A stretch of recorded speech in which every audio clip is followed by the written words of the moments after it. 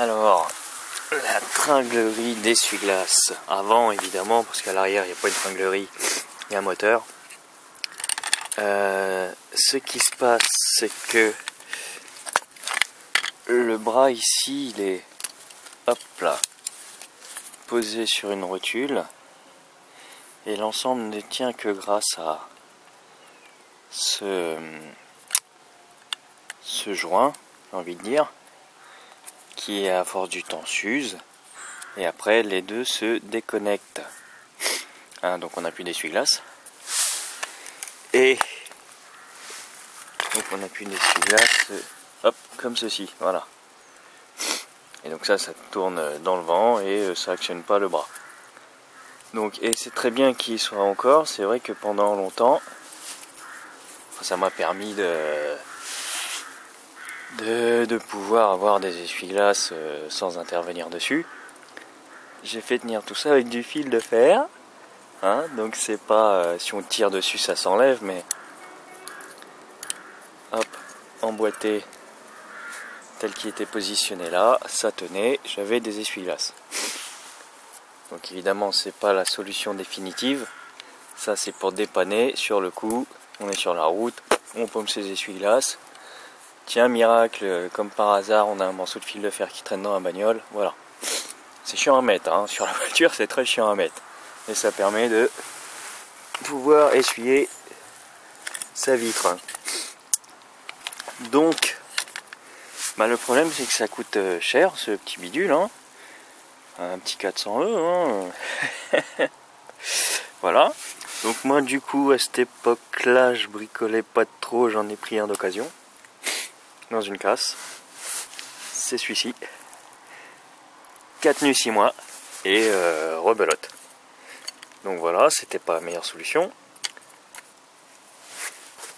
Donc bah, il a fallu réparer. D'une réparation qui tienne dans le temps. Pour ce faire, bien entendu, il faut dévisser euh, le bras de l'essuie-glace. Hein. Donc ça, c'est un capuchon qui protège l'écrou. Ça s'enlève. Euh, je le dis euh, parce que, parce que je me souviens bien euh, d'avoir été devant ce bidule un certain temps et me demander qu'est-ce que je fais, je tire dessus, je l'enlève, j'enlève pas, comment ça se passe, c'est quoi l'histoire? Donc ça s'enlève, c'est un cache, l'écrou est en dessous, que ce soit comme ça ou comme ça, c'est le même principe. Celui-là est plus chiant à enlever hein, à la main. Donc c'est du 13. Alors, tac.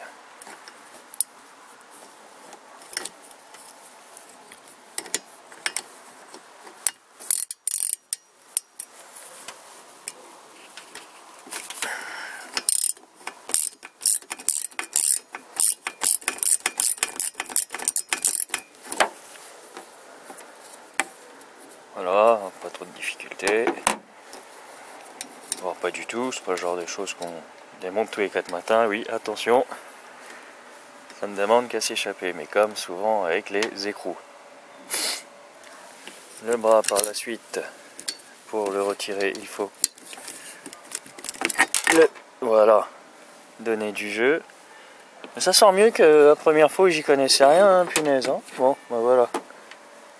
Donc il y a des rondelles, des petits morceaux qui partent, hein, euh, faire attention. J'en profite. Oh, on me voit dedans. Euh, donc voilà. On fait pareil de l'autre côté. Je ne vais pas le faire parce que j'ai déjà fait tout ça. On va juste regarder le résultat. Le plastique là se tient par une, deux et trois vis que j'ai perdu. Donc voilà, une fois qu'on a enlevé le bras évidemment.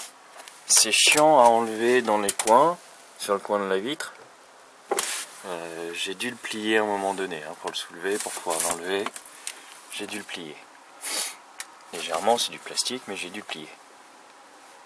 Donc on enlève tout ça et on a accès à la tringlerie d'essuie-glace qui est là, la prise électrique.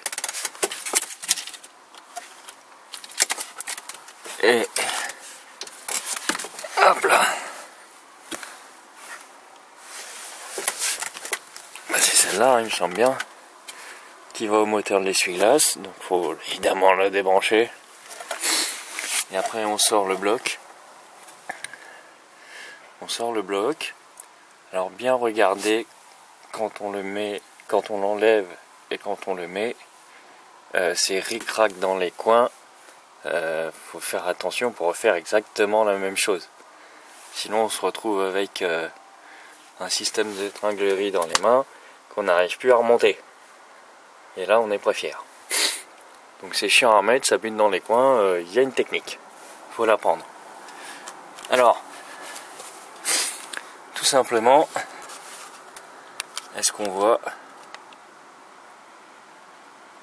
Voilà la réparation définitive. J'ai tout bonnement soudé des rondelles au cul de la rotule. Et ça fait 4 ans maintenant et ça tient. Voilà, donc ça, hop là, ici là, le truc qui commence à rouiller, c'est les rondelles que j'ai soudées. Je les ai soudées. Donc comme ceci, hein. Voilà.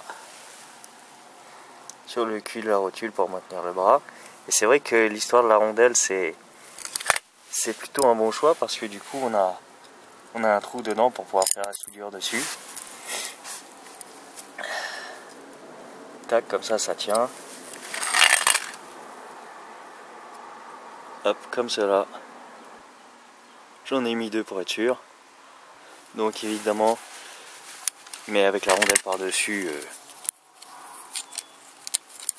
Hop là. Avec la rondelle par-dessus, euh, c'est il y a moins de risques.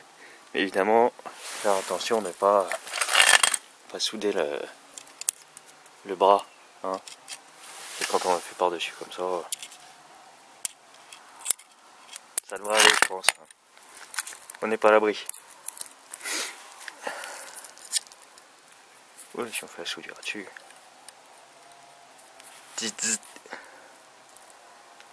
On va faire attention quand même de ne pas chauffer. Là, c'est bien, bien collé les deux. Si on dérape, euh, si on dérape, ça va prendre tout ensemble. Donc ça tient. Ah, Ça fait 4 années, plus de 4 années maintenant. Non, je pense la prochaine fois ça va tomber, c'est à cause de la rouille. Mais je recommencerai et puis voilà. Comment on économise 400 euros? Merci monsieur Rondelle d'avoir inventé la rondelle.